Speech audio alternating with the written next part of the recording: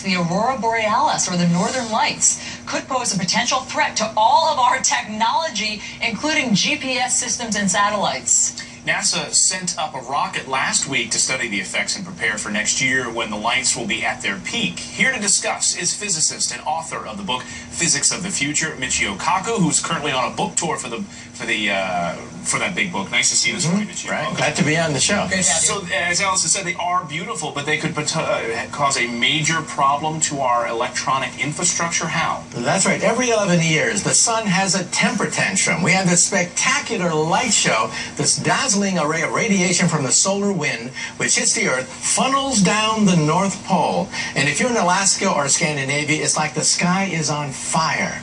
It's an amazing show. It is so beautiful, but explain to us how it could be dangerous. Well, NASA is so worried that a few days ago it sent up a, a, uh, a rocket 200 miles into outer space because it could damage the GPS system, our satellites. Astronauts could be endangered. Not to mention that in the past, Quebec, parts of South Africa have been blacked out because power plants on the Earth are also vulnerable to short circuits. This is amazing, and according to the research, physicists believe this could cost us two trillion dollars. in a maximum scenario. It's actually happened. Back in 1859, we had the mother of all solar storms.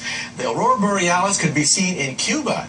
Cuba, you could see it in 1859. You could read the newspaper by yourself at night, according to the, the accounts. Now, if we had another 1859 event, which is very rare, once every few centuries, we would be sent back perhaps 100 years into the past.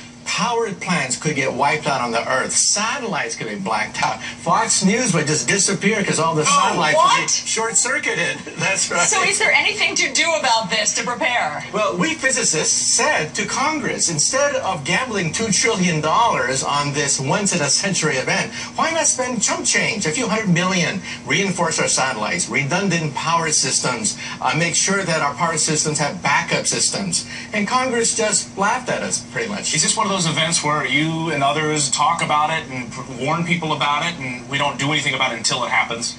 Yes, unfortunately, it's true. But remember, next year is the peak of the solar cycle. So for you amateurs out there, it's going to be spectacular. 2013 is the peak of the 11-year cycle. The North Pole and the South Pole of the Sun flip every 11 years, releasing this burst of energy. But it's a headache for NASA. It's a headache for the satellite people, the military, the GPS people. So, it's going to be beautiful, but we're going to wake up in the Stone Age. Okay, uh, Michio Kaku, thanks so much for coming in to tell us all about it and explain it. Okay. And we won't be able to use these.